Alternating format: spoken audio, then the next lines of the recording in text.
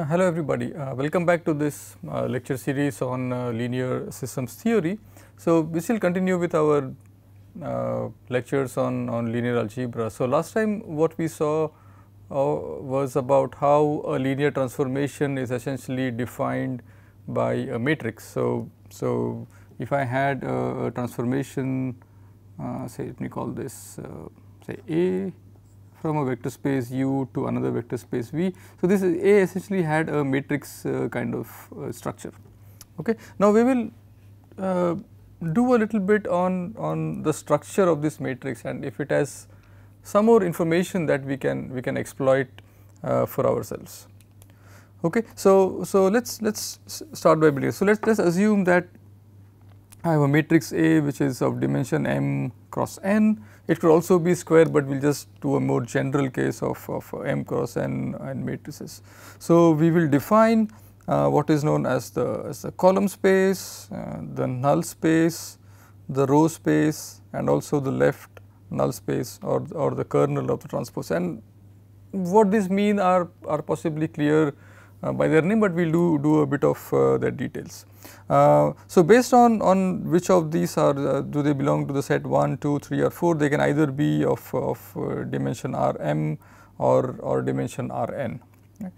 Okay. And for, for n cross n uh, it is a little um, bit simpler every everybody will belong uh, so all these fundamental subspaces will be subsets of or, or subspaces of, of R n.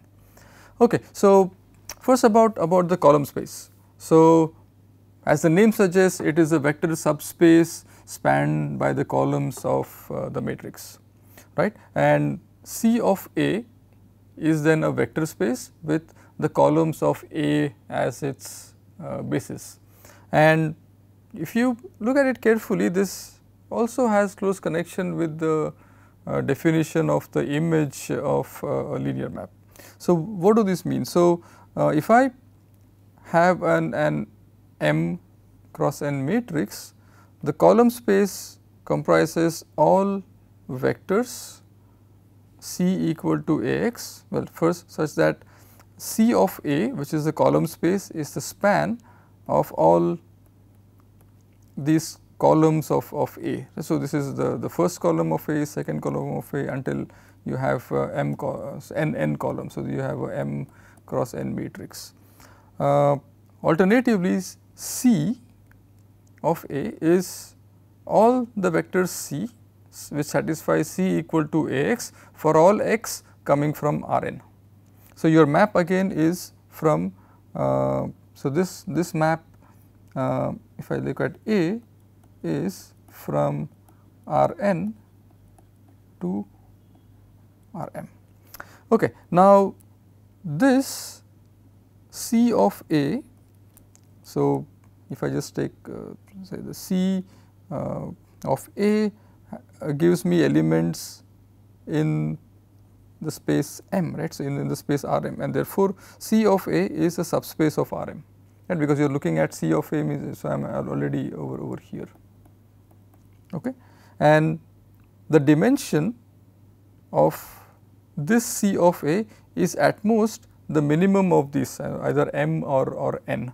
So, uh, so that that depends uh, really if if you know uh, if m is greater than n or if m is less than n or, or so on. So, let us say I take a, take a, a matrix which is say 4 uh, cross 5. So, this will have 5 rows right. So, I have A C 1, A C 2, A C 3, A C 4, A C 5 right. So, these 5 vectors Oh, at most I can have vectors which are 4 which are uh, 4 vectors which are independent of each other. So, whenever I have a dimension this way there will always be the fifth vector uh, which I can write as a combination of the of the other 4. So, at most I can have 4 independent uh, column vectors right. So, the, so similarly even if I have a 5 across 4 matrix right. So, I will have uh, A C 1 till A C 4. So, at best I can still have 4 uh, independent uh, column vectors. I can have 3, 2, 1 and nothing also if it is just the 0 matrix.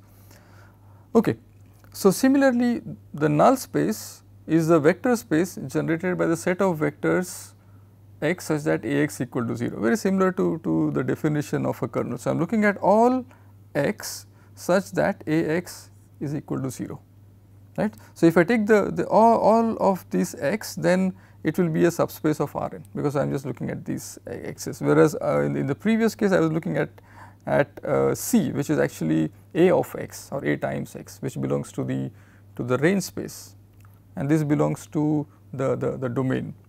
Okay. So, um, like what does this mean like practically so so n a consists of all the vectors say maybe I, I, can start with some vectors here which just under this transformation a just go to the 0 element here or they they just lose their identity or you know they are, they are vectors of, of dimension uh, 0 right. So, that is about the, the column space of A or C of A or the null space of a transformation which is denoted by the, uh, the matrix A.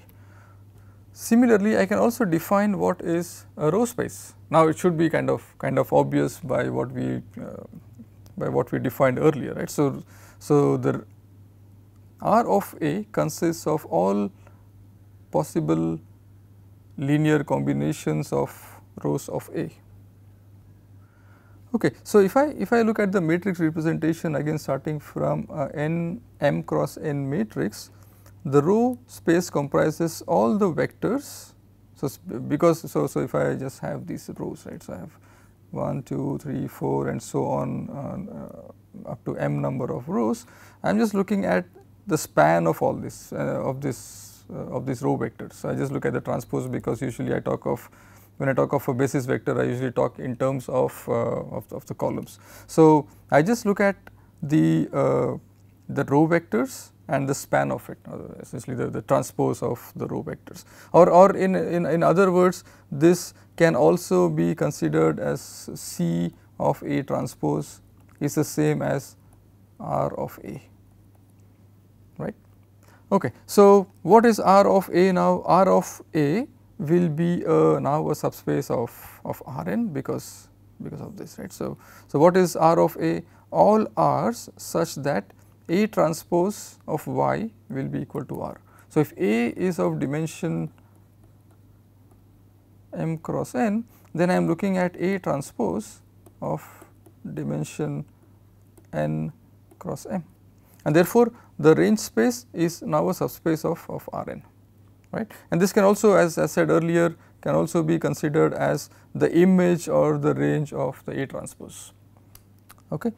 Now, the last definition in this set is, is the left null space. So, well again as, as, as the name suggests. So, so the right null space if I just look at I am looking at A times x equal to 0 right. So, here I am looking at A transpose of y equal to 0 so, the null space of A transpose is all y which come from Rm such that A transpose of y equal to 0. Again, so these y's are in Rm therefore, the entire set if I if I construct it will be a subspace of Rm right. So, alternatively uh, loosely speaking this contains of all the vectors that lose their identity when mapped from Rm to Rn via A transpose. So, so just if if uh, if A is a mapping so, this is uh, an, an m cross uh, m cross n going from R n to R m then A transpose would simply be a map from R of m to R n. Okay. So, this is pretty pretty basic right just just uh, the definitions that we will follow. Okay. So, what do we do once we define this right. So, First definition or something that will be useful to us is the rank of a linear map. A rank of a linear map f which goes from u to v with a corresponding matrix representation which is a which is of, of, of dimension m cross n. Um, so, the dimension of, of, of the uh, of the image of f or the rank of f is, sim is simply the dimension of the image of f. So, again comes from some you know some basic definitions uh, over over here right coming again from the the column space uh, till the image and and so on. Okay. So, the first definition is the dimension of the image of f or the rank of f is simply the, given by the, the, the, dimension of that image of f. Similarly, for column space I can just write that the rank of A is the dimension of the uh, column space of A. Uh, similarly, I can write for the dimension of the row space of A is also the rank of A which is dimension of R of A. So, just to, to, to summarize I have the rank of a map. So, this is my map say this is equal to R, this is also equal to the rank of the corresponding matrix A. This will also equal the dimension of the column space or also the dimension of column of the row space and at best it can be of dimension Uh, m m comma n. I think you can just write down a little example or, or, or the little details, but these are these are pretty pretty straightforward, right? Okay. Now, what does the rank of A give me? Rank of A gives me the number of linearly independent columns or number of independent rows of A. Okay. Right. Okay. Now, just to to uh, to summarize right so if uh, so or just to carry forward of those definitions uh, a matrix of full rank is of full rank if the rank of A is the minimum of m percent. So, if, if say I just take a, a 4 cross 5 matrix if the rank of A is 4 then I say it's, it's, it's full rank if it's 3 or 2 or whatever then it's rank deficient. Uh, that is what the next statement says. Uh, this is again straightforward to verify that the rank of A is the rank of A transpose, uh, nothing really to, to work out here, but you can just substitute here and check, check for yourself. Uh, lastly, a, a n cross n square matrix is invertible if it is of full rank. We would have learned this in some form or the other in one of our earlier courses. And lastly, an interesting properties if I take two matrices and multiply them by each other of A times B, the rank of it is the minimum of the rank of A and the rank of B.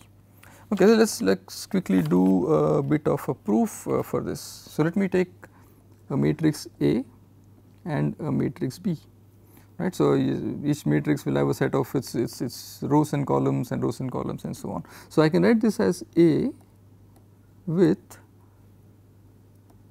say let us see B B's are this the columns of B's can be written this way. So, this will give me A, B C 1, A 2, so on till n. Okay. Now, if I take an element here or, or this or, or any one of this, so each a multiplied with some ith column of B will be some kind of a linear combination of columns of A.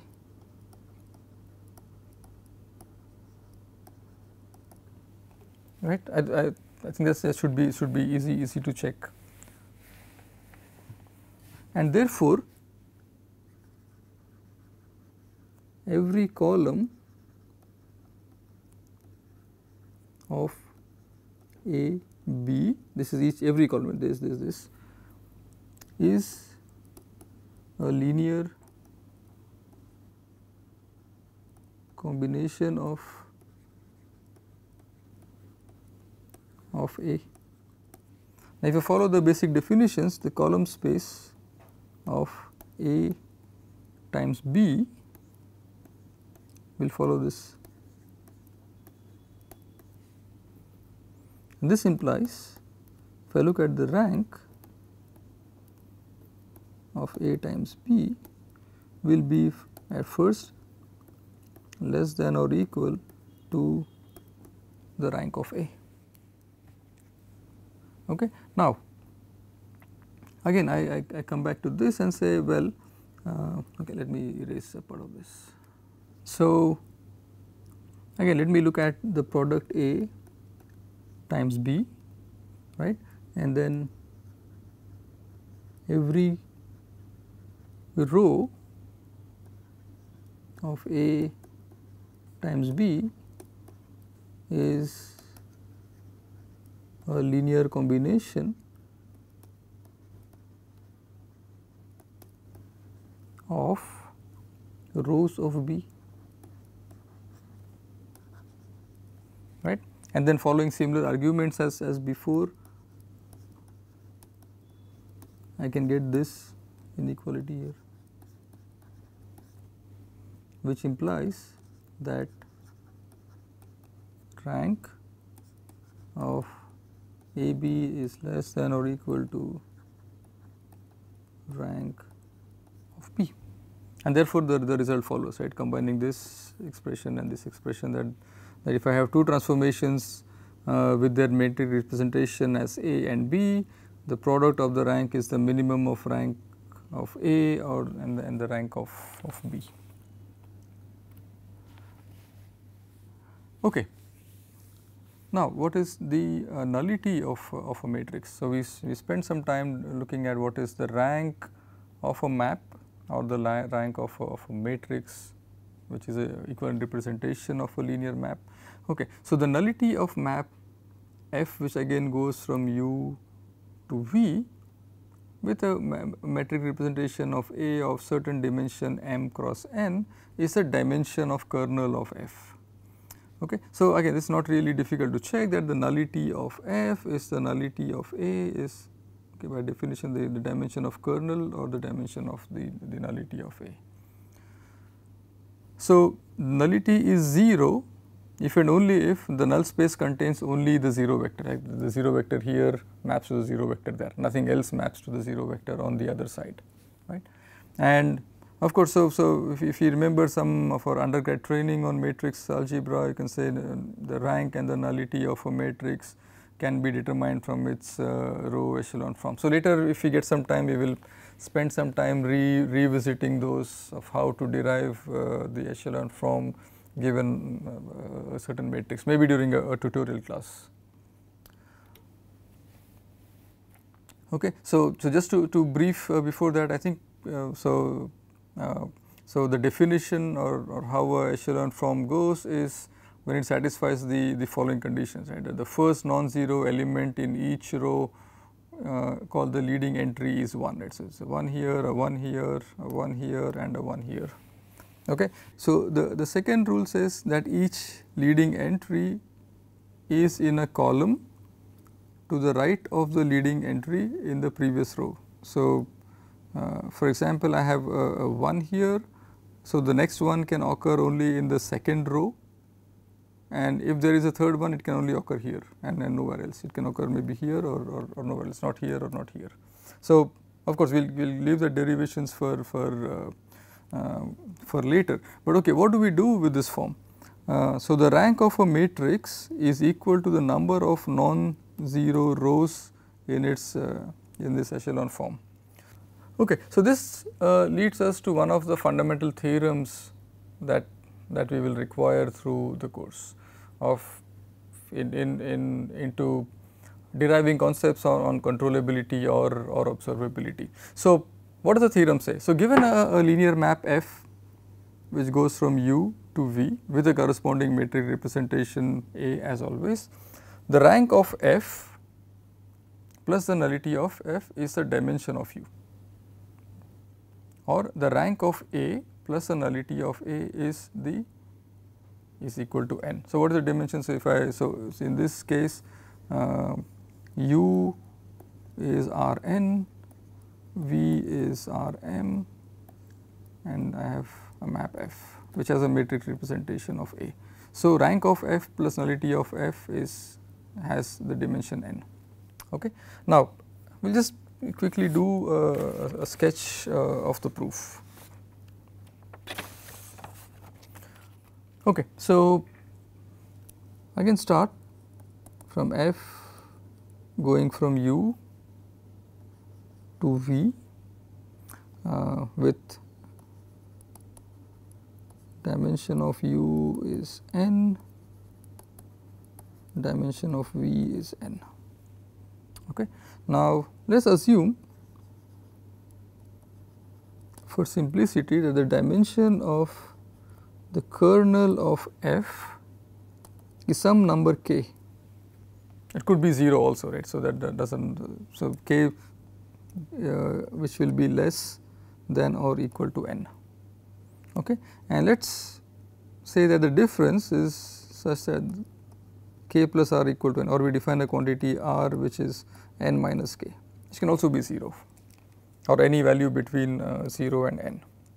Okay. Now, what I know is that the kernel of f is a subspace of R n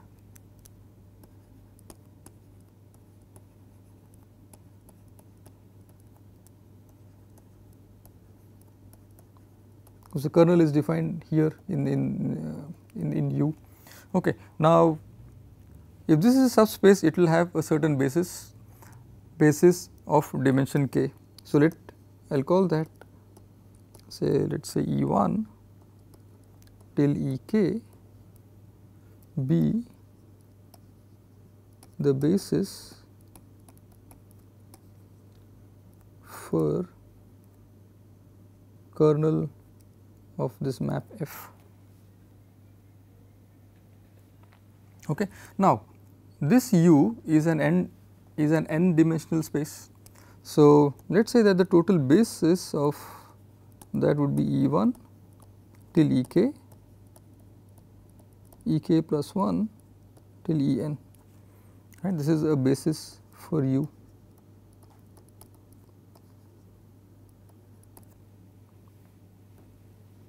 Now, what is to be proven here is if that if this is the basis for the kernel that the remaining is a basis for the image of f right. So, we have to prove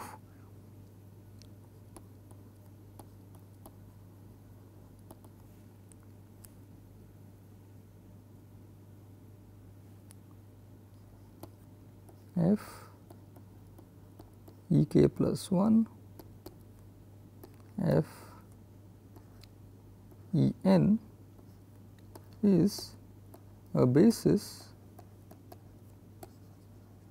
for the image of f because okay why why am i doing this f because i'm when i'm talking of image i'm already in this in in, in rm i'm already in in this subspace v right so so what what is to be proven now is that f of E k plus 1 till f of E n is a basis for the image uh, of, of, of f.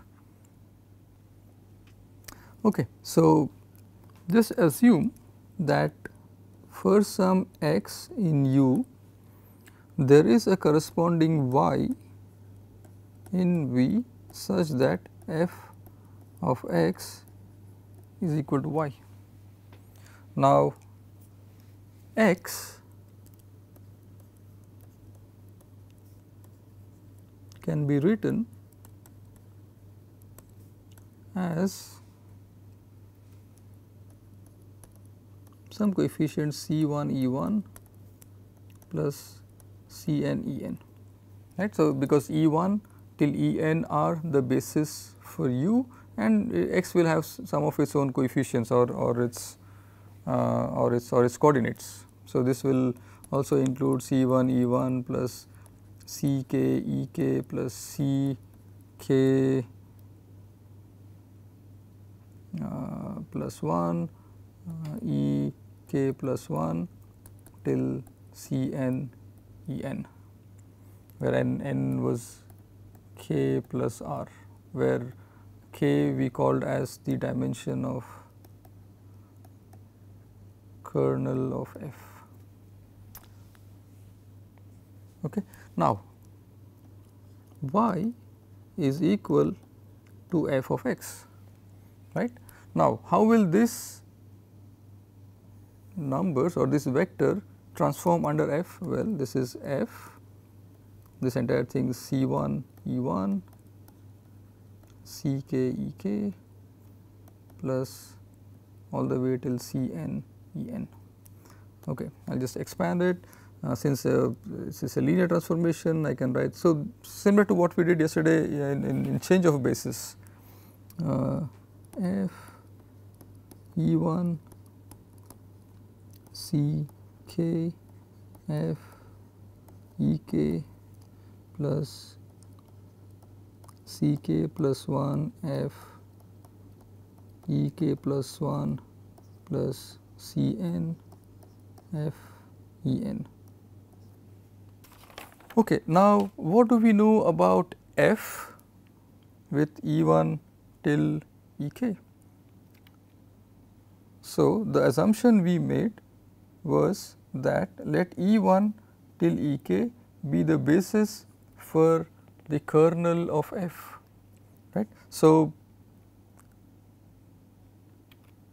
so this all numbers here will disappear they will just be 0 because all these appear in the kernel of f from, from E 1 till, till E k. So, what we are left with is C k plus 1 f e k plus 1 plus c n f e n. So, here I am just looking at the image of, of this vector x. Okay, now what is to be shown is that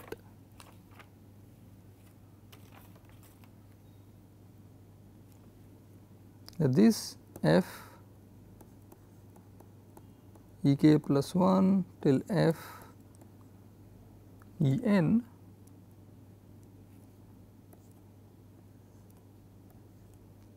that these vectors they span the image of f right. So, so, so we also in, in, in a way uh, have to ensure that uh, that they are not linearly independent right. So, to, to preserve the, the dimension.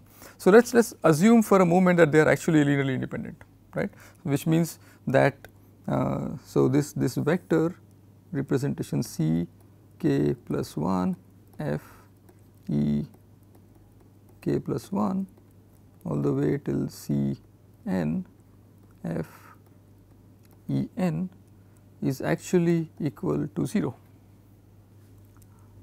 Okay. Now, since f is linear I can write this as f c k plus 1 with the with e k plus 1 which are the basis vectors c n e n is also equal to 0 right. Now, going by the definition of the kernel this would suggest that this particular vector is an element of the kernel of f. Okay. Now, what do we know about elements of kernel of f from starting from the definition when from from from over here that well they can any any element can be written in terms of its basis E 1 till E k. Now, I, I claim that they can also write it in, in terms of E k plus 1 till E n which means that there is some kind of a linear dependence between E 1 till E k and E k plus 1 till E n. Okay. Now, what are these E 1 till E k, E k plus 1 till E n? So, these are these were the basis for R n which means that this actually is, is a contradiction that I can I cannot write it in, in this way right. So, E 1 till E k, E k plus 1 till E n are actually linearly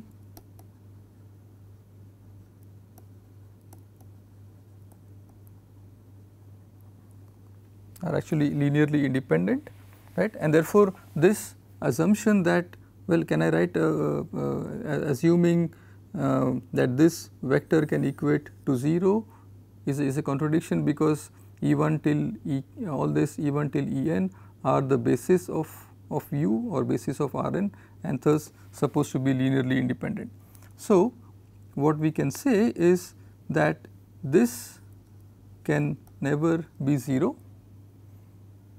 right and therefore, f e k plus 1 till f E n are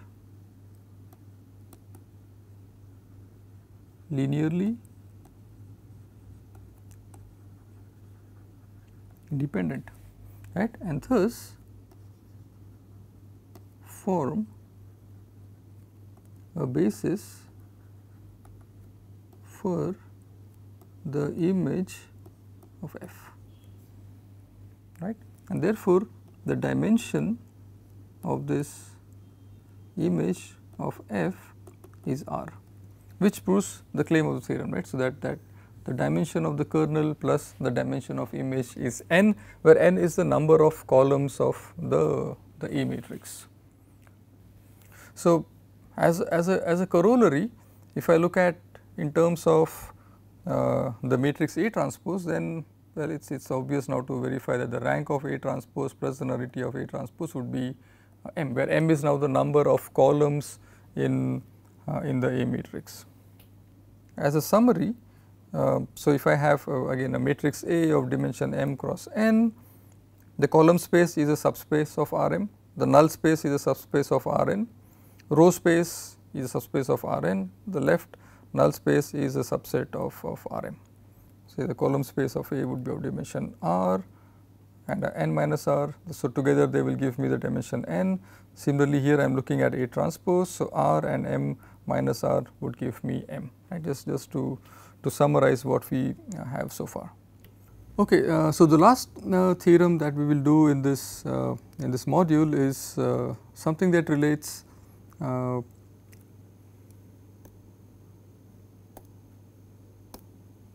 sorry something that relates the null space to the to the row space and the null space of A transpose to the, the column space. Okay, so first let us uh, quickly see what this uh, this this uh, symbol is. So, this symbol is uh, usually called as the orthogonal complement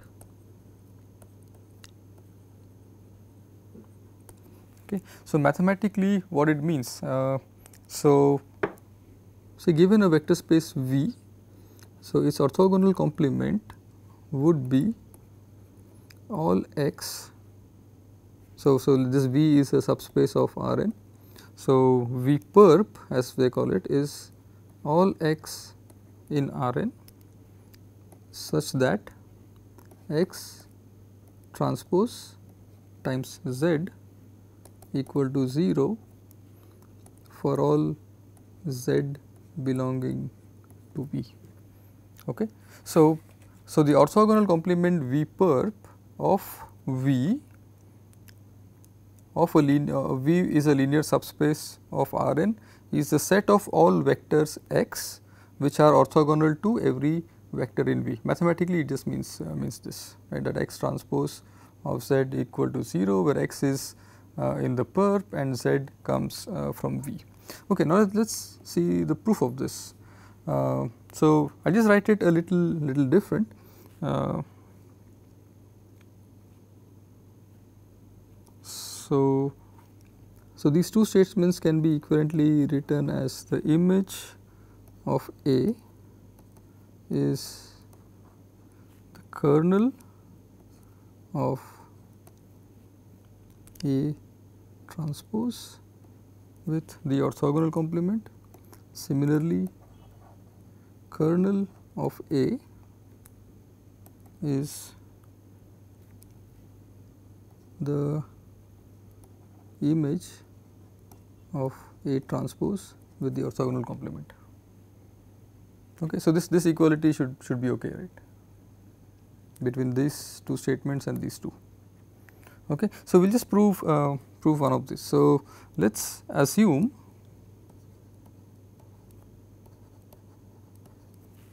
that there is a vector x belonging to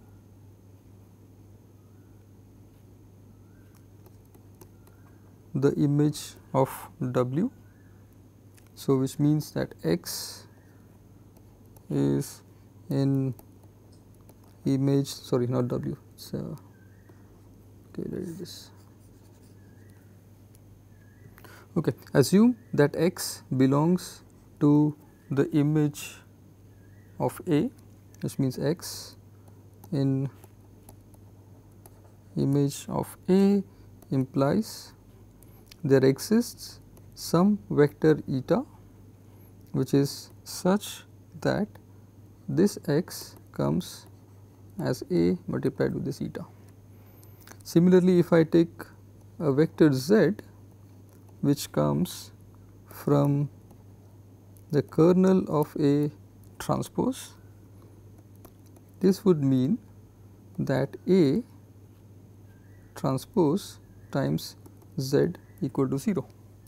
Now, look at these two combined. So, if I take z transpose and multiply it with x, I get the following right. So, I have z transpose a times eta. Okay. Now, this is also necessarily equal to 0 because because of this a transpose z equal to 0 which will also mean that z transpose of a is also equal to 0. Okay. So, what does it mean right. So, x this vector is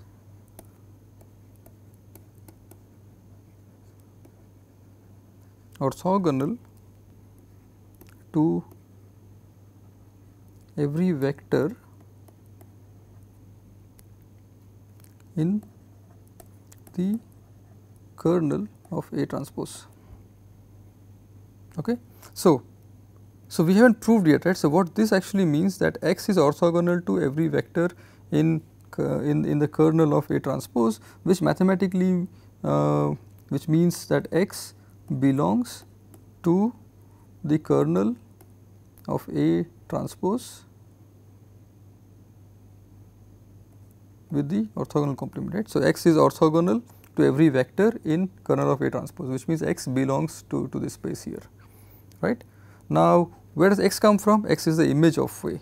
So, therefore, if I take the set of all these x I can only say that okay, let me write it in a box here that this image of uh, the image of A is a subspace of the kernel of A transpose with the orthogonal complement. That is all I can say, I, I, still cannot prove the equality. Okay. So, to prove equality we will in, invoke the, the rank nullity, nullity theorem which we had seen in the in the previous slides. Okay. So, what we know so far is that the image of A is satisfies this the kernel of A transpose with the orthogonal complement. Okay. Now, to show that these are actually equal, uh, we need uh, a couple of more steps. So, first thing we know from the rank nullity theorem is that dimension of kernel of A transpose plus dimension of the image of A transpose is m because A here is a m cross n matrix and A transpose will be n cross m. So, the, the dimension is the number of, of, of columns. Okay. Uh, second thing that is uh, if you are writing the first time uh, and is easy to, to, to uh, intuitively it should be clear right. So, dimension of kernel of A transpose plus dimension of the kernel of A transpose with its orthogonal complement is also equal to m. Say like m, m equal to 2 uh, if the if, if uh, the kernel of A transpose looks like 1 0 then this orthogonal complement will necessarily be 0 1 and hence the total dimension is, is like 2. Uh, similarly, if, if, uh, if I have uh, kernel of A transpose in a 3 dimensional space looks like this, then its, its perp or its orthogonal complement will have either 0 1 0 or 0 0 1 or any linear combinations of these two. I can just swap these two and say if this is the kernel of A transpose then this, this will be uh, in its orthogonal complement. So, this is this is like intuitively clear. So, from these two things what we can conclude is the following that the dimension of image of A is also the rank of A is also equal to the dimension of image of A transpose. This is also equal to the dimension of the kernel of A transpose with the perp right. So, so what I want, so what I know so far is, is these two that the image of A is a subspace of the orthogonal complement of the kernel of A transpose and additionally what I know is that these two spaces are such that the dimensions are equal right and this is possible if and only if there is a strict equality between the image of A and the kernel of A transpose with its perp. Okay, that's a that's that's uh, one one part of the proof, and the second part of the proof uh, is, is is kind of straightforward from this. Uh, as as a little simple example, so let's uh, take a matrix A, which looks like this. Uh, it says 1, 0, 0, 0, 0, 0. Okay, so the null space of A would be well the the span of these two vectors 0 1 0 0 0 1 or any any linear combination of uh, of these two elements. The null space of a transpose would look like uh, 0 and 1 okay? So so so what it means is that you take a uh, this this uh, uh, uh, this matrix A and multiply it by n of A then you get a 0. Similarly with the A, A transpose where, where A transpose looks something like this 1 0 0 0 0 0. You may as since they are 0 you may as well get rid of this row and then if you so you can easily check that this is, is the is the null space of of A transpose.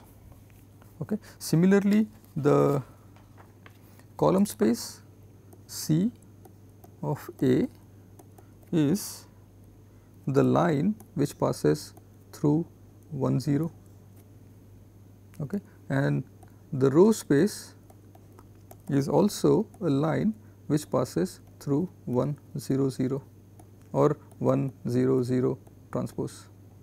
Okay. Now, if you go back to the theorem statement it says that n of A is in the orthogonal complement of R of A. Right? You take an element from n of A and that it will essentially be uh, in, in, its in, in, the orthogonal complement of R of A prime. So, so this is R of A. Take any element from here from n of A. Say take uh, uh, say 0 1 0 1 0 0 I get 0. Similarly, with the second element also, right. So, so the definition here is uh, is that uh, x transpose of z should be 0. Another important thing or interesting thing to note here is that I take the perp and I take the perp again I, I, get back my original space. Similarly, you can verify this also right that the null space of A transpose is in the orthogonal complement of, of CA right. So, take this and multiply uh, 0 1 from here and 1 0 from here will give you 0 right. So, so this the relation between these two holes and the relation between these two holes. So, that is a little uh, illustration of, of, uh, of, uh, of, a theorem uh, which, which says uh, the following. Okay, so how do we uh, visualize these four fundamental subspaces? So, we have the, the row space of A, the column space of A, the null space of A, and the null space of A transpose. Okay, so uh, what do we have as relations? We know uh, the following that well the dimension of the row space is R, it is a subspace of R n. Okay, so row space it is a subspace of R n, it is of dimension R. Then I go to the null space of A which is also a subspace of R n and of dimension n minus R. Okay, so, this is the null space of dimension n minus r and together the row space of A or the dimension of the row space of A plus the dimension of the null space of A is, is R n the, the, the fundamental theorems uh, which we uh, had had earlier right. So, so this one the rank of A plus nullity of A is, is equal to n. Okay. Now, similarly I have the column space of A which is a subspace of R m. I can denote it as uh, the column space of A of dimension R is a subspace of R m and similarly the null space of uh, of A transpose is a subspace of R m now and it is a of of dimension m minus r right. So, this this this is where this sits. Okay. Now, uh, so so if so what does what does this mean? So, the, the null space of A means the following. So, if I take a vector x n which belongs to the null space of A, the map A will take it to the origin. Okay.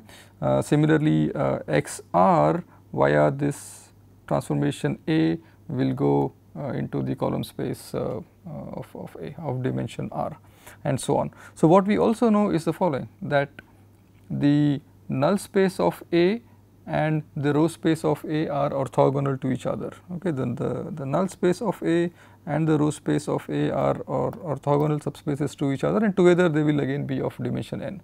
Similarly, with the uh, null space of A transpose and the column space of A are also, also uh, orthogonal uh, to each other. So, th this the dimension of the of this plus this would be uh, would be m. So, that is a little little pictorial uh, pictorial representation of this uh, and also for what does this this map show us. So, if I take an element xr from the row space and element xn from the null space it will still map to here. So, which essentially means that a times xn is, is 0. So, this is rewriting these two equations together.